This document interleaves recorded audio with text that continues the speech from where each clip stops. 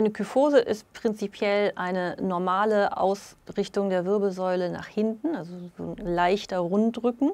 Im pathologischen Sinne kann es aber dazu führen, dass diese Krümmung nach hinten sehr stark verstärkt wird und über einem Rundrücken schon fast zu einem Buckel führt.